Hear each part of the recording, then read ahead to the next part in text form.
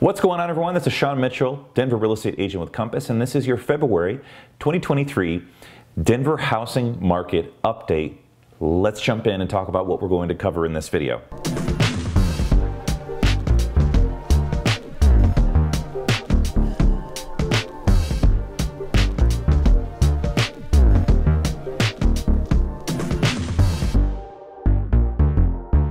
We'll start off with days on market, then move into months of housing inventory for single family homes, number of new listings, number of active listings, median and average sale price, and a new one that I'm adding on here because I think it's important for where the real estate market is going, the inflation rate.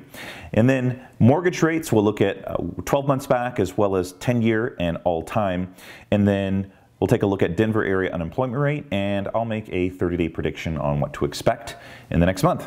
First off is days on market, and we're sitting at 36 days. That's uh, compared to an average of 49 days. You can see here as we look at the chart, uh, those days are increasing. Based on what I can tell, the market is correcting. It's not going to crash. Uh, we're not having a housing crash. And as you can see here, it's, it's uh, hitting rates that look a lot more like what it used to look like pre-pandemic. So um, I think I think we'll start to see some some trends that will look very similar to previous years prior to the pandemic.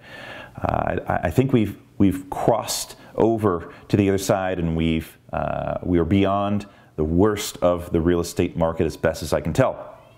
Months of housing inventory for single-family homes is still sitting at two months. So even though the days on market has increased significantly year over year, we're still extremely tight on housing inventory. What this tells me is that houses are selling, it's just taking a little bit longer for them to go under contract and close. Number of new listings is 2,197. As we seasonally do, things do slow down with people putting their houses on the market in the winter months. So usually between Thanksgiving and mid January to late January. In fact, this year I saw things picking up significantly the beginning of this month, February. So more houses are going on the market. It's great to see that um, the increase in interest rates have not scared off all buyers. I do think we'll see things pick up, not to the extent that we saw them over the last couple of years, but I do see and expect for a healthy spring and summer market. Number of active listings is sitting at 3,256. And this as well, I do expect when we do get new numbers for the month of February, this will take a trend up. And uh, again, this, this further confirms that I think that things will be looking a little bit more like what they have pre-pandemic and much less like the fast and furious multiple offers well over asking price uh, that we saw during those couple of pandemic years or two years uh, post the start of the pandemic. Median and average sale price, the median is sitting at 590,000, the average 686 275 and you can see here that we hit a peak in April of last year. Prices have been coming down quite a bit. That's in direct relation to the mortgage interest rates, which are directly tied to the federal rates that they've been increasing gradually to try and drive down the inflation rate, which we'll talk about in just a moment. But we've actually seen since April of 2022 to January numbers, we've seen a 16.3% drop from those all-time highs. Now, as I mentioned before, I think the worst of things are over. I do think that things will start to pick up. It won't look like the last couple of years, I don't think. Hopefully not, that's not sustainable. Uh, but I think we'll, we, we will see some healthy growth and trending upwards moving forward. So you can rest assured if you're a seller considering putting your house on the market in 2023 that uh, we should see home prices start to go back up again. And uh, if you're curious, a year ago in 2022, the average was 681,590, and January 2023, this year, 686,275. So uh, we, have lost about a year's worth of value, but um, uh, take heart, those price increases that we saw last year in particular were not sustainable. So we will see some steady growth moving forward. So if you bought a house last year, I helped you do that, or you, you, you bought one and you're watching this video, uh, you should see some steady growth moving forward. Now to cover the new category in this video, inflation rate, since it is an important driver for the mortgage interest rates. And what we saw was not as large of a drop in the inflation rate in January as what we were expecting. Therefore, this is causing the Federal Reserve to increase the rates again, which is impacting the mortgage interest rates. Those have taken a hike up in the last couple of weeks.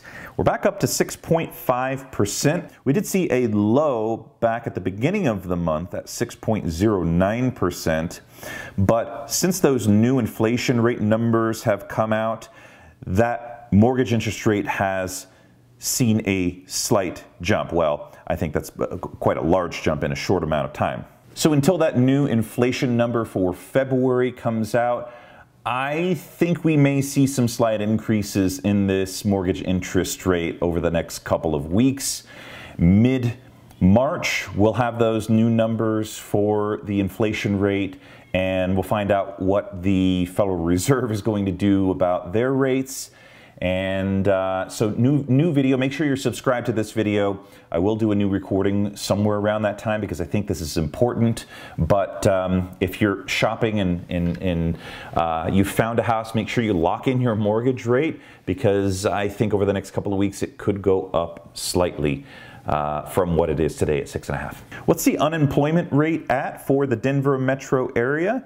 Well, it's pretty good at the moment. It's sitting at 2.8% compared to the national average of 3.5%. What's my 30 day prediction? Well, I think mortgage rates, as I mentioned, will probably, I would not be surprised if they go up slightly from where they're at currently at 6.5%.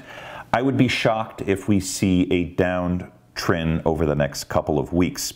Second, spring inventory is here. Anecdotally, houses in my neighborhood as well as houses in the areas that I've been helping clients have been going on the market more and more. And they've also been going under contract pretty quickly with multiple offers. So I think we've hit that spring season and we'll, we should see more and more listings go on the market.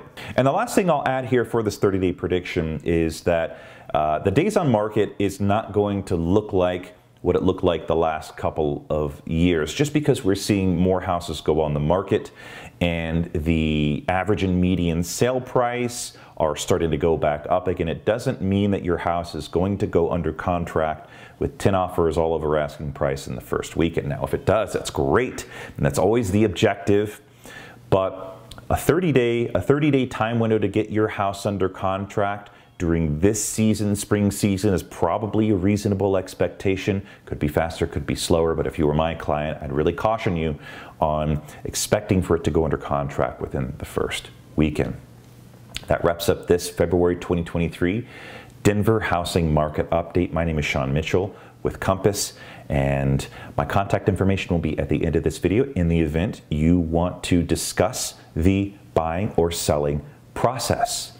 Thanks so much for watching, and I'll catch you on the next video.